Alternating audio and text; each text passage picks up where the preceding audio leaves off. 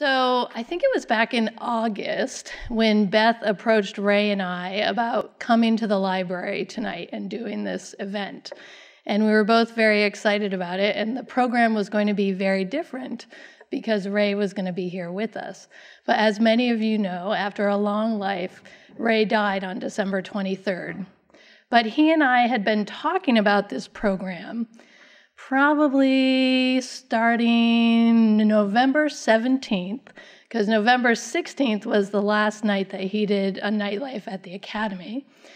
And the way that Ray and I worked was he always wanted to have an event planned that he was thinking about. So I had to be careful not to tell him a date too early because then he would lose sleep at night because he'd be planning the table and where he would put things and writing the cards and everything. So I waited until November 17th after we finished the November 16th thing and told him about January 31st that this was the date. So we talked about it a lot and I wrote down all the specimens that he wanted me and he wanted us to bring that night. And actually the day before he died, the last thing he told me was to bring the spider monkey's skull, which is on the little table in the front, because um, it's the one near the seats, near the chairs, because he wanted you all to see the difference between a nocturnal monkey and a, and a daytime monkey. So those are here because I was told to make sure I brought them here.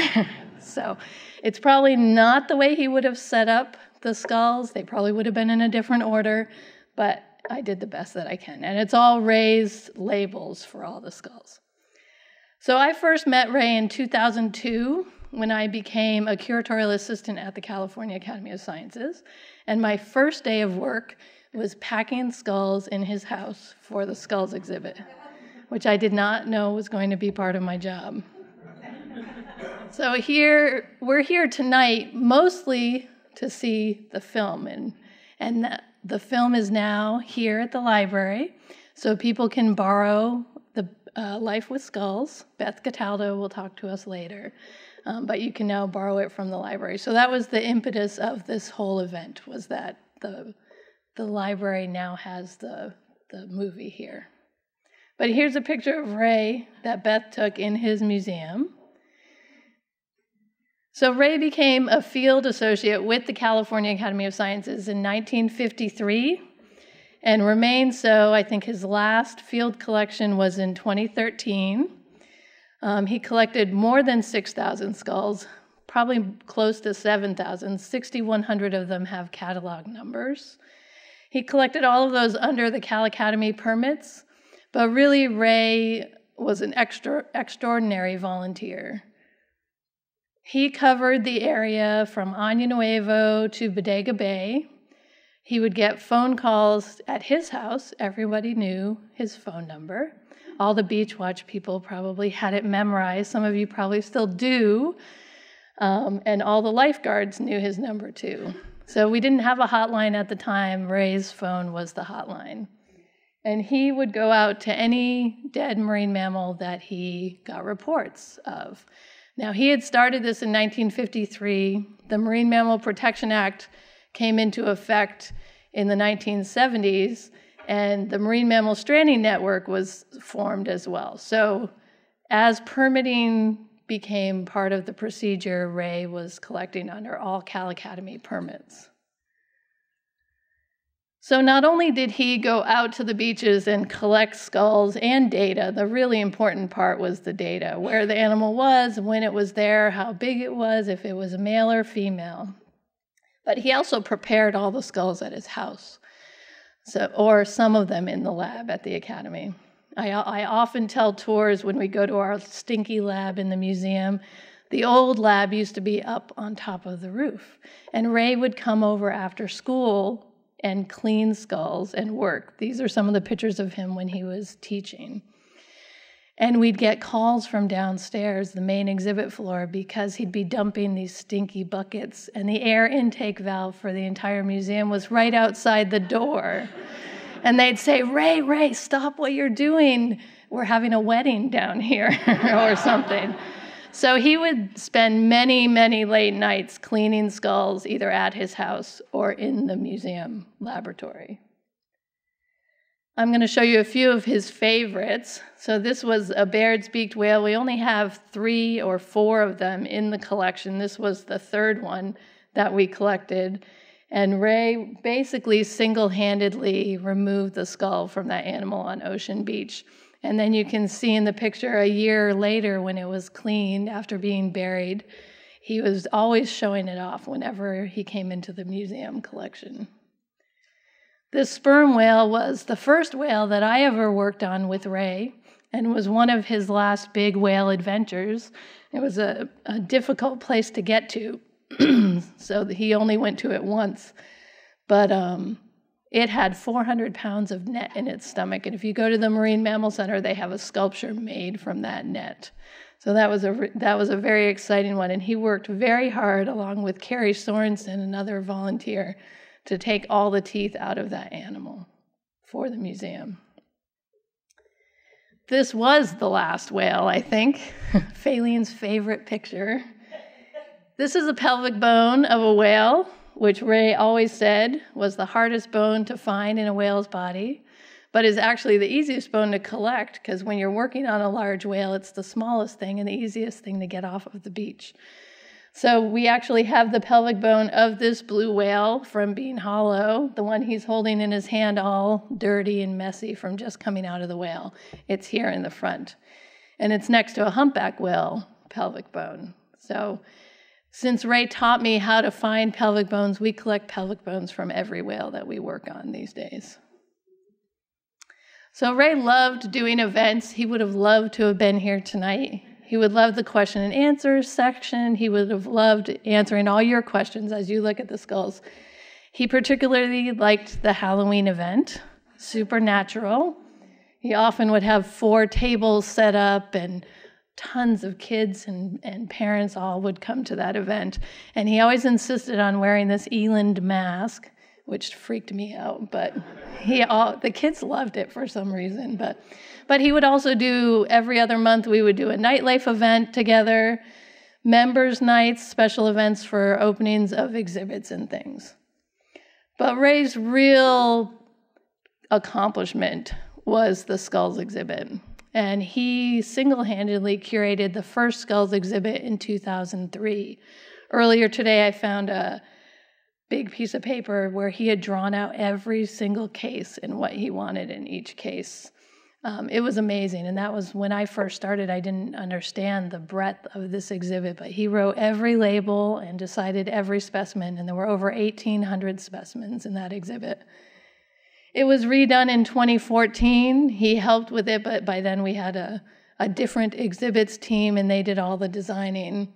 This is the sea lion wall from the original, and the current one is now up in the museum. He also loved to give tours, which Jacob is continuing that tradition. Um, he would give tours of the museum whenever he could, whenever people asked, or when people wanted to do interviews. And then the, the museum was always available to researchers. So the reason he collected all these skulls was for scientific research, for the research collection. So sometimes researchers came to the Academy collection and then went over to his house to see the rest of the specimens. And now that he's no longer with us, his collection will move to the academy and will be there. So although tours won't be available at the house anymore, um, they will the specimens will be at the collection. So they'll join over 32,000 specimens that are in the mammal collection that will be available to researchers from around the world. And there will be over 6,500 marine mammals, one of the largest marine mammal collections in the world. And because of Ray's collection, we have the largest collection of California sea lions of any museum anywhere in the world. There are the sea lions. We also have the largest southern sea otter collection and the largest Guadalupe fur seal collection, mostly because of the work that Ray did. So you can continue to visit the Sea Lion Wall, which hangs above the project lab at the museum. That will be there indefinitely. And on May 24th, the Academy, along with Ray's family, we're going to have a special Bones nightlife. The whole the theme for the entire night will be bones. We'll set up as many of Ray's displays as we can. And now I think it's time to let you see the movie.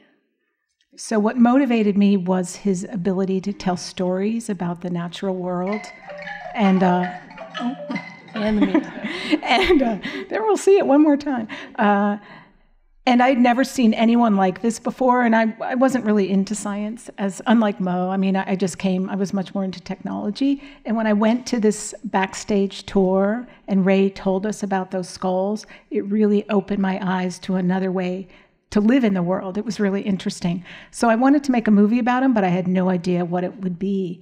And then um, I met all these other people, and they told these stories about Ray. But in the end, my goal of this movie was to really showcase someone who has lived his life in a very creative way, but a very positive way that added to science. Because I think we don't get enough media that talks about people like this. But I know there are so many, there's a lot of Beach Watch volunteers here tonight, and you people are, are very similar. They give back to the world and live in this very generous way and um, call them citizen scientists. I think Ray is a really um, proud citizen science. Um, and so I really wanted to celebrate that. And, uh, and so I, I think it does. It really celebrates who he was. He, as his wife said at the end, I think that's my favorite quote in the movie. They were very free people. They lived very exciting lives, but they added to the positive. So that's kind of my goal in, in making this movie about Ray. Anyhow, it, was there a question? I think I saw a hand over there. And we'll wait for the mic. Okay, this man in the front row, yeah. Hello, uh, my name is Tony Colonies. I was one of the managers of the zoo. It's not so much a question as a remembrance. I started at the zoo in 1971, and there was this fellow who would appear over by. We didn't even have an animal hospital then. He'd appear over by the freezer, and oh, I, I got the word that that's Ray. He's the skull guy from the academy. I thought he worked at the academy all the, all that time, so that's news to me even now. But uh, Doc Mottram would call Ray up in the middle of the night and say, We're, we lost something. If the keepers would get there at 7.30 in the morning. We'd see Ray over by, over by the freezer. We'd come over and say, Ray, what died? he, knew about, he knew about it before we did. Mm-hmm. Okay. Yeah, the zoo animals added a lot of depth to Ray's collection, and they will to the Academy collection as well. And there was a specific researcher she's still around. She works on um, primates. And I know that she and Ray had several situations where one time she got out there and she said, Ray, this one's mine. You're not getting it. but she had to take it with the arrangement that it would eventually come up to Ray after she was done with her muscle research. okay. Um, first, I want, just want to thank you for making that great film. I really, really loved it. Um, Ray was kind of an obsessive person, as Doug Long sort of said to the side there. And I know, have known some other collections managers who also have a kind of obsessive quality. And I, I love the way they've kind of converted this desire to keep collecting, to keep going, going, going, and turned it into something really beautiful and helpful and and and positive. And uh, I am wondering if there's anybody here who knows exactly how Ray found that that that trick. That is, you know, when um, collecting skulls as a compulsion became collecting skulls as a contribution. Well, I think he probably knew that from the beginning because when he was in high school, he would bring specimens to the Steinhardt Aquarium to have them not marine mammals, but you know, different reptiles and amphibians that he found and insects and things. So he always understood the value of collecting the specimen, but also collecting the data with the specimen. So that first animal in 1953, the first harbor seal, we know it's the he wrote on the skull. It's you know the data is all there. Mm-hmm. And it's actually number 53 or 54, 53 in his collection, which means that before that he had brought other things and kept the data. So I think it came with his love of science even from a very young age. And he did grow up near the Academy of Sciences. Whether that made a difference, I don't know if his family has any insight into that. But, uh, you know, I think, again, what you're near, I think, speaks to you. So maybe that just pulled him in from an early age. But he did always collect creepy crawlies, as he would say. That's where he started. And I don't know if he had any mentors or anything. He never mentioned any names Yeah. to me. No, he was self-taught. He was self-taught. Yes, he was a mentor to many of us. That is true. Any other questions?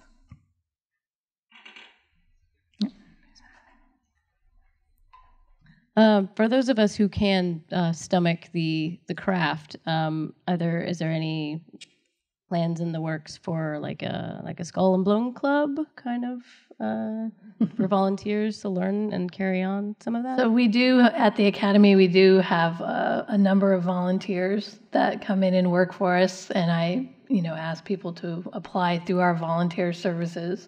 We do require people to start cleaning disgusting skulls because that's a really good way to to know if a volunteer is going to stick around for very long. if they can clean skulls in the stinky lab, then they're I'm they down. win. oh yeah. yeah, I encourage you to apply. A question, a couple of questions here. Oh, thank you. Good to see you again, Moe. Um, Chris Journey here from Tree Frog, and I wanted to say two things. One was a, a comment, and one was a question. So years ago, when I first met Ray, was down at the academy at sort of the beer on the non-balcony in the herpetology room in the in the depths and the annals of the old academy. When I was a young young guy, like probably a teenager. And um, I was working on a few things, having fun. And so then he was really inviting and inclusive about all sorts of things that we could do together. And I was just, you know, this like this little flea on the whale of the academy. And that never changed. He was as inclusive and open and welcoming and warm to everybody he ever met, which I think is um, hugely important to, to shine a positive light on. Uh, just anybody can do science. Science is everywhere. This, this, it doesn't matter if you're smart or new or naive. Just check it out. So fast forward to 2003 when that Baird's beak whale went um, went on the shore. I was uh, courting a young woman who became my wife. We were walking on the beach at sunset, and Ray shot up to me. He recognized me. He goes, "Chris, there's a Baird's beak whale on the beach. We got to take its head off." okay, this this is before he even really introduced himself to my girlfriend Nicole, and she knew Ray from just me being around the academy working there and stuff like that. So she said. Give me a ride home. I'll see you later.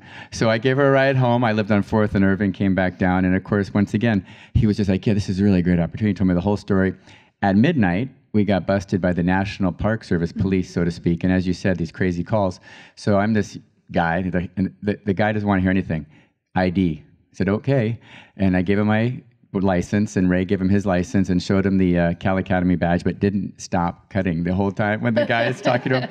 And he's like, come back tomorrow, gentlemen. So I left, and then, of course, uh, Douglas Long came down, and for days and days we worked on this thing. And sadly, not sadly, but it's funny, like, he broke the um, zygomatic arch, you know, of that elephant. Well, the same thing happened kind of the Baird's beak a little bit. They needed to get it off the beach because stupid things were happening, like gangs were tagging, et cetera. And they pulled it, and every single person in the world came out to help Ray. The lifeguards, the volunteers that were everywhere. They, you know, deflated tires, and a troop of cars came out onto the sands. They could have been stranded there, and, and they finally got that thing off, and they buried it and redid it. So the, the comment was that he was really, you know, inclusive. And the question is, how can we keep that kind of positivity around in this day and age of you know mm-hmm. quick and dirty communication not not real facetime? I mean talk about facetime. Of course he wore that jacket for 35 years. I mean i don't even know. We, we, he had like seven nicknames beyond bones. Let's put Yeah, it that way yeah. based on the smell of that jacket. And it was all good. So that's my question and i want to salute everybody here for supporting ray. Thank you.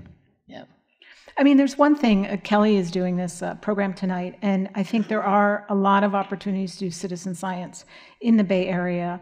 Um, and I know there's a lot of Beach Watchers here tonight. How many Beach Watch people are here? So, Beach Watch, for example, is a program where we're trained and then we go out every uh, month to um, survey beaches and collect data about live and dead things. And there's a relationship among those people, um, but it's not as um, maybe vibrant as working with Ray. But I think there's a lot of organizations, um, and I know Kelly's trying to get these bio blitzes out from the library with people working in community to actually go out together and enjoy nature, but add to science. So I do think technology has helped us um, on the way to work as groups, but um, we have to search it out. We really do have to search it out rather than staying in front of our computers. Yeah. I also think one of the things Ray instilled in myself and some of the people who work with me and is whenever we're out on the beach, this, we do the same thing that he used to do. We always stop and interact with the public and answer their questions. And sometimes we get peed on by dogs, but we still we still stop. And people always have questions, and they're so curious about what's going on. And the more information we can get out there, the better. And did you have a question? No, yeah. Just very naive. Oh. Since I'd never heard of him or this before, uh, I was wondering. I mean, if he and I will try and see the house before you know it all goes to the academy. But if it all goes to the academy, uh, why hasn't it already gone earlier? Why has it always been in his house? If it is so important to science and to you, um, why, when this academy was rebuilt, didn't you create space and maybe even a lab again for him to do that? Or maybe you have one meanwhile, and you know he still loved doing it at home. But could you explain that? All of the above. So in the new academy, we did um, include the amount of space that Ray's collection would take when we designed the the collection storage area. So hopefully, we will have enough room for all of it. And believe me, over the years, I have tried to get some of it to come over. You know, it's more than 6,000 skulls that we're yeah. looking at moving now. Um, but he always, he loved his museum and he loved being able to sit in the museum and look at everything and just be surrounded by the bones. So we never pressured him, and researchers were always welcome, and I would make arrangements and you have to warn them a little bit, you know, about the house and it's so full of stuff and it's there's not a lot of room for work, but he was always open to them coming up there. So they were still available to scientists. They were just in an offsite storage location that I would have liked to have had them integrated into the collection when we moved back to the new building in 2008, but that's okay. They'll come now. And we do have a lab in the new building that uh, smells just as bad as the old lab did. and Ray worked in that lab as well. Wow. Okay. Moe, Moe, I did ask, want to ask you a real question, which is um, with the trends in uh, education and so many of the old zo- zoology departments are, and the mm. commitment to natural to, to natural uh, science studies, field studies, and so on, being moved into integrative biology or whatever. Uh, what is it? And your collection is that you curate is so remarkable. What what do you think is the fate of all these hmm. very large collections in the modern ed- modern world? Hmm. Well, I think one of the things that's happening with collections is people are developing new tools to study collections. So, for example, just a couple of weeks ago, I sent off a large piece of adult male blue whale baleen that was collected in 1979 to a researcher who's studying hormones in in whales, large whales. And what they can look at is look at the hormones and the stress hormones, and they can see where the whales suffered stress and where they were geographically when that happened. So technology has allowed scientists to ask more in depth questions. You can look back at specimens and compare the environmental conditions that they lived in using technology, stable isotopes, from the past to current day, and that can tell you a little bit about climate change, and it can give you more information on the influences of the environment on those animals. So even though not as many people are doing morphology studies, the traditional studies with museum specimens. There are so many new technologies that are coming out with CT scans and stable isotopes and hormones and aging things with growth layers and teeth and mm-hmm. baleen that I think there will always be a use for it. And it's important to continue to build those collections so that 100 years from now, people can look back at our time period and study the stable isotopes in the animals from now compared to the ones 100 years ago, compared to the ones 100 years from now, and be able to tell some stories and understand the environment.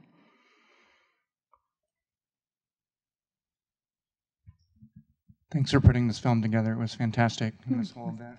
So um, I have one brief, excuse me, question, and then uh, a second one to follow up. Um, one, uh, the brief one is I, I see a couple of folks wearing the necklaces. Is there some, and he was as well in the movie. Is there some significance to the actual bone? Are they special in any way? He had about six different bone ties. This one has a number on it, which means it's cataloged, and it's an elk vertebrae. Oh. I'm not sure which one Jacob has. Tiger vertebrae. He almost always wore the hyena, which I couldn't actually find today. But Ray, whenever he went out to an event, he wore his fancy pants and his fancy striped shirt, and he had a, a carved comb in his upper pocket, and he always wore a bone tie. So for tonight, we thought we'd wear some bone ties So these are from his collection. from the collection. Yeah. Fantastic. Yeah, Jacob's his nephew. Yeah. Oh. A great nephew. Excellent. Good to see family here. Okay, one more. Um, I I'm sorry, think- just had one quick other question. I just want to make sure I'm interpreting something correctly. During the movie, he was talking uh, something about a license or something. Do you, did he have to have a? Does, do you or anyone have to have a special license license to do this sort of? So marine mammals, endangered species, and birds are all protected species. So in order to have parts, any parts, even if you just find something somewhere, you can't prove that you didn't kill have something to do with killing that animal. So we are part of the Marine Mammal Stranding Network, which gives us authorization from the National Marine Fisheries Service to respond to any dead marine mammal. And then we have all the U.S. Fish and Wildlife Service permits for migratory birds. So Ray, as a field associate with us, was covered under all of those permits. Okay, thank you. So over here. Uh, well done on the film. Thank you. Thank you. Um, I'm wondering um, what additional information might um, be within the rest of the skeletal remains. Uh, the film talked about the significance of the skull, but if there's other data um, in, in the rest of the skeleton, if there's any effort by the Academy others to collect um, those bones as well. In some cases, we do collect larger skeletons. So, for example, over the past couple of years, there have been uh, there's been a die-off of Guadalupe fur seals, the endangered species that um, we actually have the female here with the jaw that he was talking about had the really old female with all of her teeth missing. Um, so we will make choices about collecting entire skeletons based on the value of that specimen. So because we had so few of that species to begin with, we would keep the entire skeleton, uh, two from every county that washed up. This was in the past two years. But in general, we do stick to collecting the skulls because, in, as Ray said, it's the easiest thing to get off the beach. Um, if it's a large animal like we an orca, we collected an entire orca in 2011, which took five really difficult trips to the beach, and a lot of 37 people helped me get that whole orca off the beach. So we just make the choice with resources and the value, but really most of the value is in the skull with the teeth and the brain case, and you can learn a lot from the skulls. And I think one thing maybe that was not spelled out is that, um, like when Moe or someone else goes out on the beach, they try to do a necropsy on the dead animal to see how it died. Um, so they'll examine it for any other information that they can get from it on the beach. So a lot of times they will know how it died when they leave it. And it, like one time, Sue Pemberton is the one who goes out there now, and she was like, Beth, did you know that was a shark bite? I'm like, no, glad you went out, Sue. So they can tell a lot of times how an animal has died, and they'll take that data on the beach. Thank you, thank you, Beth. It's a wonderful film. Um, the early, one of the early specimens that had the even teeth. You know, all. Mm-hmm. Do we have any idea why that was the case? Moe can tell you. Moe. So, one of the things that we've learned recently is in in a lot of cases if animals are eating sharks, their teeth will wear down consistently across the board. So there's a bottlenose dolphin here who also had its teeth worn down to the gum line. And that orca that I just mentioned was a young animal because it was known from life with its teeth worn down to the gum line. Sharks have skin that has what's called dermal denticles. So it's like sandpaper.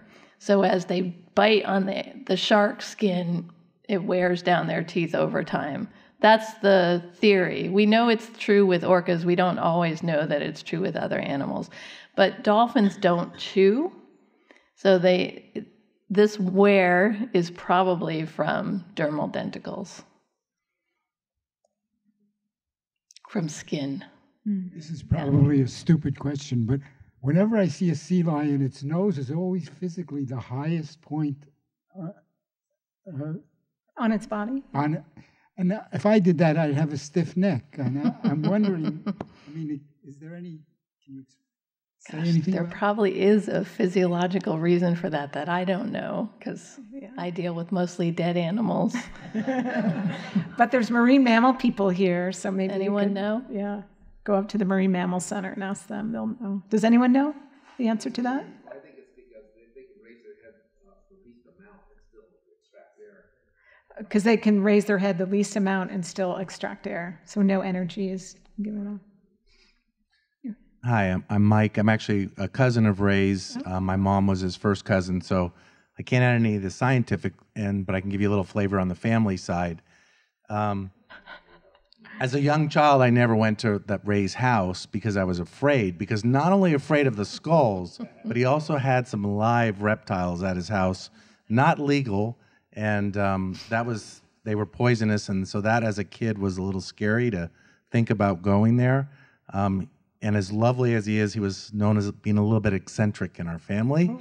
Um, I've never worn a bone tie myself, but uh, at our wedding, he of course had his bone tie and was very proud of that. Would always be very proud of of his dress. Um, and I, another time, I think there was a party because he always, as you said, had the striped blue shirt and the big comb in his pocket, which was actually in your movie Yeah. quite a few times. His comb sticks out, and he was there was a surprise party. It was his 60th his 60th birthday party, and they told him he was going to someone else's party, and he got there, and everyone had those shirts on and the and the combs in his pocket, and he was just I think it was too much for him. He kind of you know too much uh, shirt, but you know obviously he was a lovely man, and, and we enjoyed having him as part of our family. I've always been very proud that I can talk about his house and and such. Um, one last thing, as as a small child, they had he had a number of cousins. My my mother was there was ten brothers and sisters above them, so there was a, a number of children, and they used to go away in the summer all together to Los Gatos, which was then you know kind of the country. And Ray talked about it that he used to, as a small child, go and collect reptiles, you know, in the going along the the creek and and just collecting things, which I'm sure my mother and other cousins were thrilled to have him come back with at the end of Mhm. his Yeah. outing. So I think he was always from day one like that. Yeah.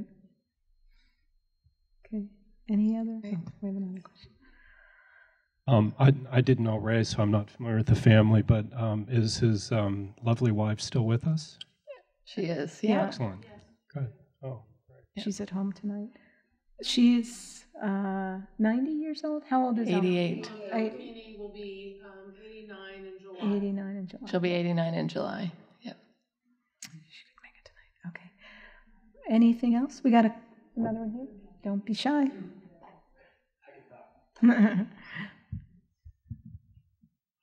You mentioned that uh, the whale skull was one of his favorites, but I'm just curious, like, what were his favorite animals, favorite skull that really like got him going? Well, you know what? Um, it's funny. I just was uh, writing a book with Ray and took a bunch of photos of his favorite skulls and was working with him. And he passed away the day after I kind of gave him the first draft. So I finished the book, um, and I'll have copies for sale if anyone wants it in the back later. And that has most of his favorite skulls. Um, but I think this Guadalupe fur seal was one of his. Is she over there? And she's in the movie. Her, um, her, uh, uh, he was just fascinated by this old female who had climbed up on the beach, and her, you know, her state of of um, kind of life and death was in this skull, and I think he really found that skull one of his the most fascinating ones. And he had a couple ones that had like teeth in them. He had one, I think, bear that had a uh, was it a mountain lion tooth stuck in its head, but it didn't get killed by the mountain lion. It was actually shot by a hunter. And that one he found fascinating. I don't know. So you know. Well, whenever you would ask him what his favorite skull was, he could never he would never answer that question. So really pulling these images out in these individual specimens was the Baird's was maybe not his favorite, but he talked about it a lot. And whenever we did events, he'd always want the Baird's beaked whale to come out if it could, along with you know the narwhal and the the cancer deer, and all, he had a whole list of things. But it was really hard for him to name a favorite. There's no one favorite that he had. I think he really appreciated them all for the art and for the science that they mm-hmm. were. He did tell me a week before he died that he wanted to bring some bones from the living room. I'm just remembering this now, and I'm very sorry that I didn't bring them tonight mm-hmm. because he said, I want to bring like the, it was someone's femur, one of the femurs from the living room of the house, or the pelvic bone of the elephant, or something, because he wanted to talk to you all about how these bones not only represented science, but were really pieces of art Mm-hmm. And he said, I want to get up there and I want to, do you think there'll be time for me to get up and talk about the art involved? And I forgot about that, so I'm sorry. I remembered the nocturnal monkey, but I forgot about the bone from maybe the elephant's pelvis, yes. So you can just imagine it was between Alcmene and Ray, the art was really a big mm-hmm. part of it as well, and the sculpture of the, the bones. Yeah. Okay. Thank you all for coming. Yeah, thank you.